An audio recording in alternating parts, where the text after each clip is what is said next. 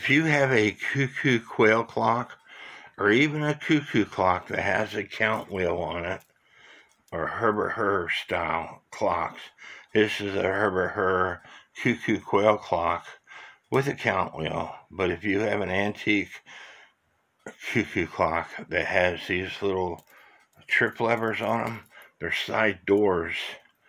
Um, but if you you have a clock that is the bird, either the quail or the cuckoo, is not stopping. One of the most simplest thing that you could do before you put the clock in time, when I say in time, the second wheel, this lever that I'm moving, this brass lever here, this lever here has got a notch on it that goes into the second wheel cam. And then at the same time, there's a third wheel, there's a pin that hits a tab. Can you see that pin? There's a pin on the third wheel that hits a tab on this lever right here when the clock is done chirping. However, this bird post arm, this arm right here is called the bird post. That's the post that the bird, whether it's the quail or the cuckoo, rests on. It has a wire right here. It also has a spring on it. There's two purposes behind that spring. One is to bring this bird post back in uh, inside the case. The other is to hit this trip lever. This trip lever is what starts the uh, bird into action. It is part of this lever right here on this Hubert Herr on an antique clock, this would be a wire. But if I was to move this, you could see that it is part of this lever, which goes into the count wheel. It is this lever, which goes into the cam, and it is this lever, which is that wire. It's all one unit if this bird post wire is on the opposite side, and if you got this thing connected to the door, it will sit there and quail all day long possibility because it it has to be underneath this trip wire. That way, that spring can, when I pull pull on this, it is pulling this lever down into the count wheel. Same way on the cuckoo side. This bird post wire has to be in between the trip wire and the plate. So if you are having issues with your clock not stopping its cuckoo or its quail, it keeps chirping. One of the first things that you need to look at is to make sure that this trip wire is on the outside of the bird post wire. And then, if it's still not stopping its cuckoo or quail, then you need to look at other things. And I have a video on a count wheel type movement that discusses what happens when the clock goes into warning and what happens when it's done cuckooing. They're all basically the same system. In this case, the trip lever has a wire that goes over it, which helps push that um, lever down into the count wheel.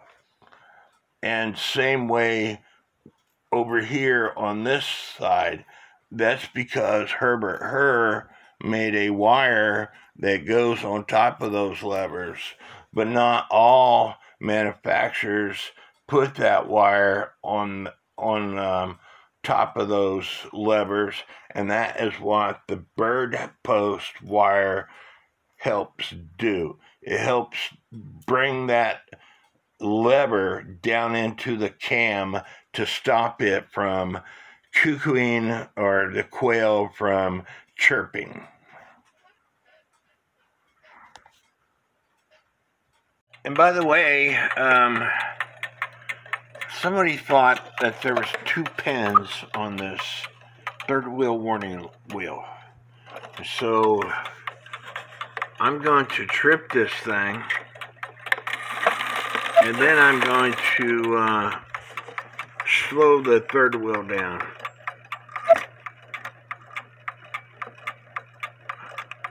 There's a pin right there.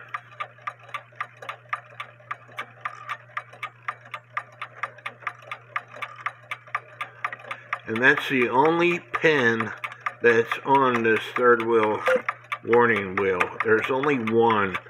Some clocks have two. This one has one. And I don't know if I could get to the uh, quail.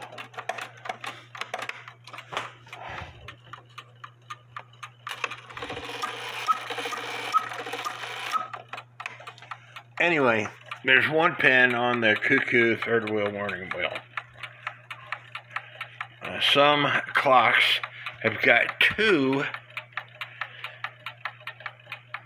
and you have to when when the cuckoo is done cuckooing you have to make sure that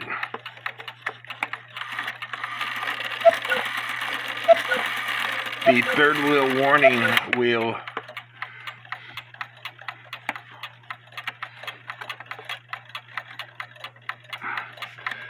this one might have a pin inside I'm going to have to look, so stand by. I know I put this thing in timing. The third wheel warning wheel has two pins. However, one is on the inside going toward the front, and that's the the pin that catches the this system, the lever and everything when it's all stops cuckooing. And then this pin is what stops the cuckoo from cuckooing when the quail is doing its thing.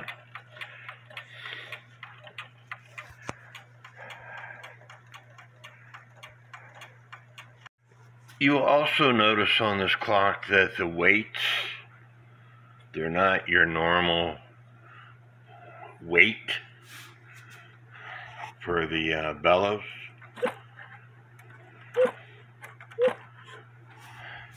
And this is also the one for the quail bellow that I made uh, using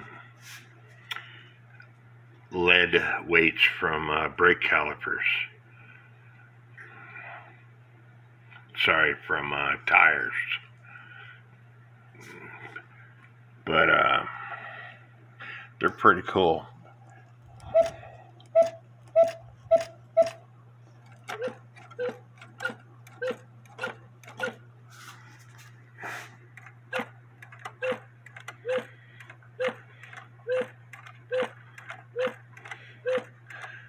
I might have a leak in this bellow. I'm gonna have to uh, check that out. But this bellow sounds great. The quail bellow sounds great, but the low note bellow don't sell don't sell them that great.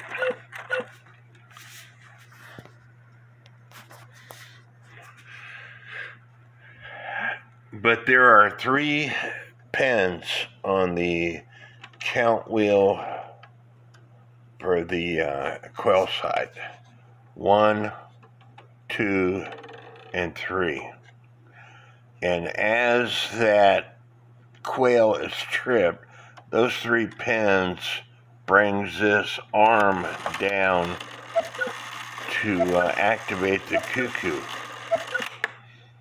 And this wire has to be bent just right to activate the cuckoo.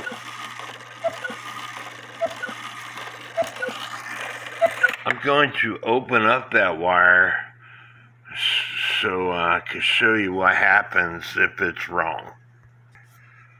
Here you can see I have the wire that this lever here goes inside. And when I when I bring it down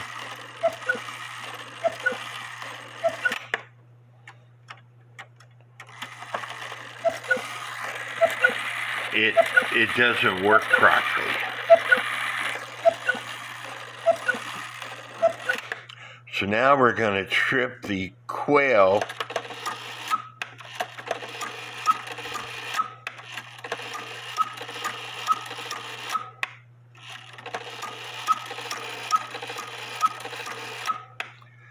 as you can see, the cuckoo didn't work when the quail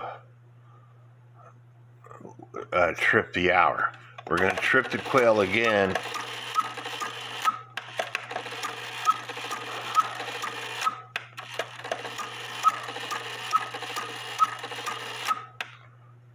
And as you can see, the cuckoo didn't work when I tripped the hour. That's because the wire is spread too far apart.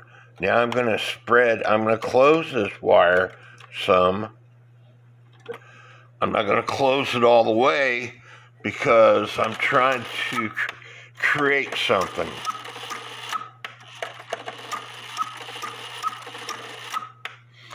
as you see, there's the pin on the quail that's bringing this lever down.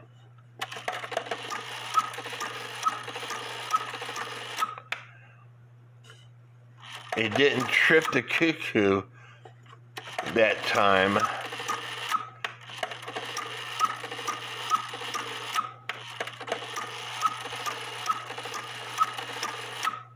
And it didn't trip the cuckoo that time. So I'm going to squeeze the wire down some more.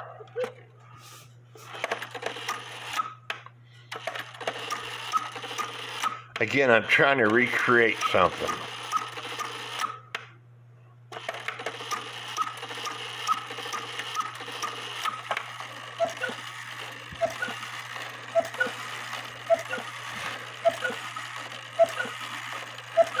There's a guy in the group that it takes pushing on this lever twice in order to activate the cuckoo.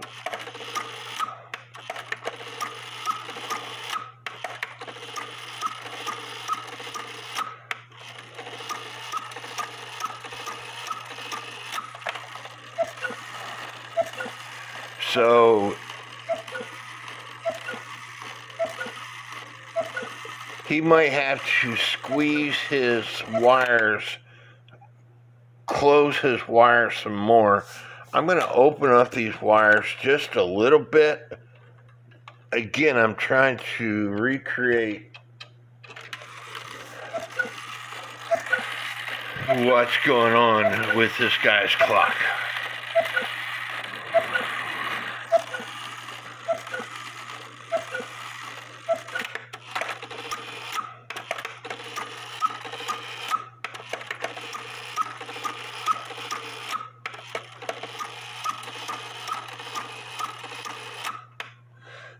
That's not going to do it. Because what's happening on his, the third wheel warning wheel will go into warning on the first time it's supposed to uh, cuckoo.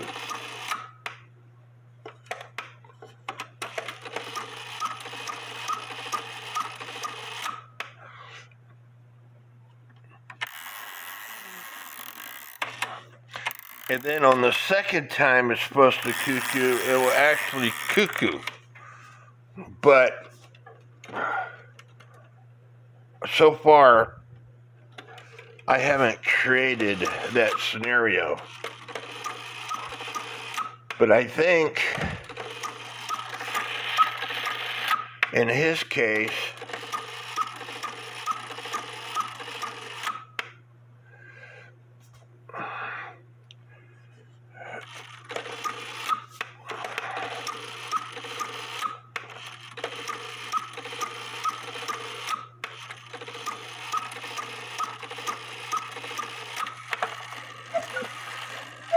it might have created a situation that time. I'm going to do it again to see what happens.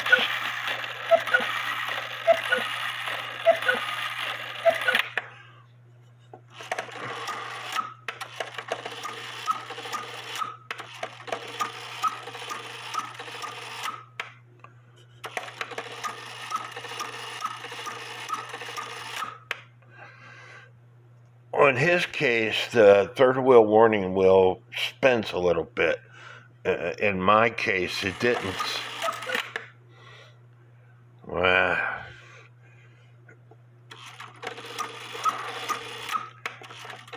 let me do this again.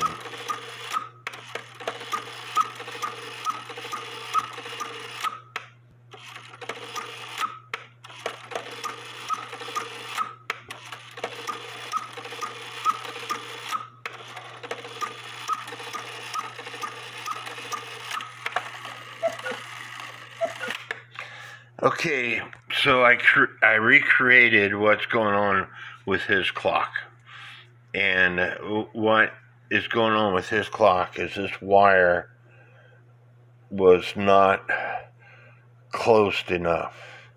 So I'm going to show it to you one more time. Cheryl, you hit it on the head.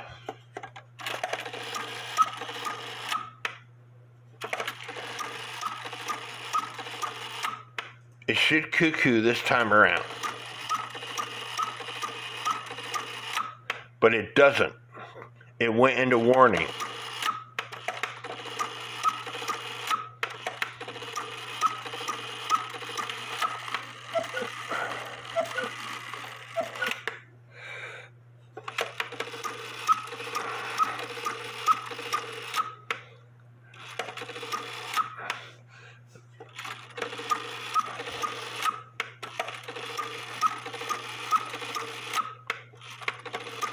It should cuckoo this time around. And it does. Um, do one more time.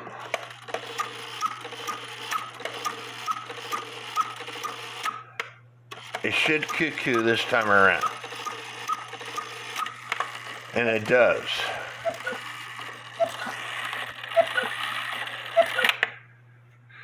So maybe not the issue with this clock. I'm going to close my uh, wire back up.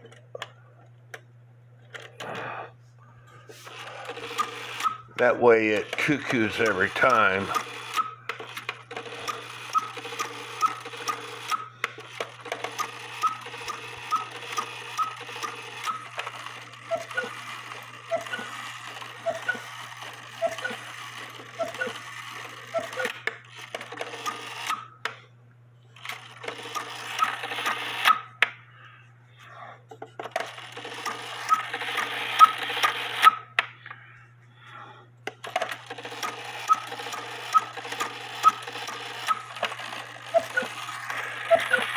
And I still think with his it's the timing of the clock. It's either this lever that goes into the count wheel is not bent properly, and as you can see, mine is bent to where it uh, goes straight up and down um, on the uh, count wheel. Um, the third wheel warning wheel, and the pin that's facing toward us, it is about in the 2 230 position. The other pin, I know, it's touching the lever that's attached that goes into the cam on the second wheel.